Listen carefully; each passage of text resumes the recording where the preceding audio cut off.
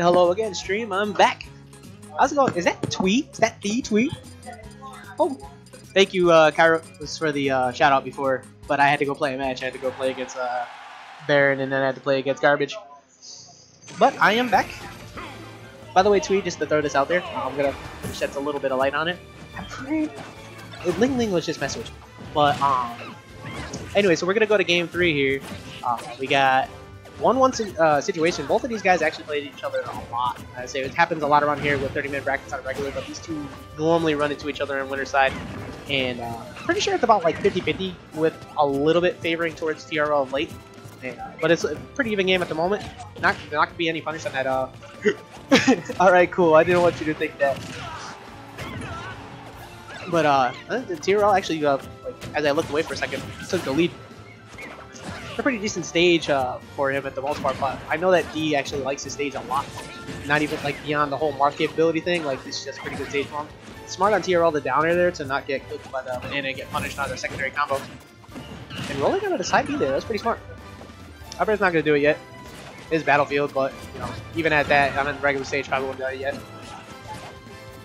Yeah, Tweet, that's my roommate. Like I, I know how he gets, likes to fool around a lot. What's he gonna do about this get up coverage here? Oh wow, actually baits him into the jump, but uh, he fell out of forward smash. That should have been a stock, but good thing on D for avoiding that.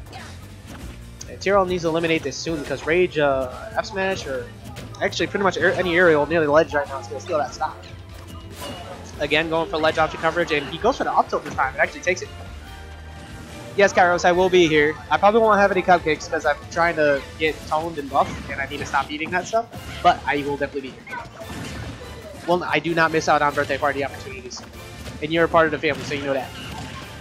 Nice combo that luckily for D didn't get uh, bounced there. He would have taken a lot more, but even at that, TRL still adding on. Say, uh, avoids uh, the follow-up, but still ended up getting a 61% out of it. It's looking pretty good. Oh, but he's getting up he ran to him, but he doesn't get the stock taken away for it. D's in a pretty bad spot. He needs to steal the stock like ASAP. Opting for a lower recovery, but TRL saw that coming, so he opted to go to center stage. It was very smart on his part. Down tilt to F smash is going to miss, but now at this point, if uh, you catch him with a rogue smash attack or even soon an up tilt, that's going to be it for D's uh, winter bracket run. No tipper, unfortunately. That's not going to take that stock.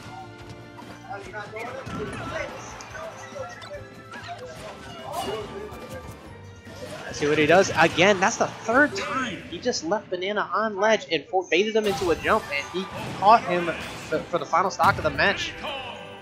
That was smart stuff on TRL's part. Good stuff. TRL as a whole, like just on his ledge trap options in his uh, neutral game, have been leveling up at a very good pace. Like just the fact that he baited him into that option multiple times, like D didn't recognize it, and I feel like even if he decided to go for a different option, he was waiting for it. I will be back. I have to go play against D.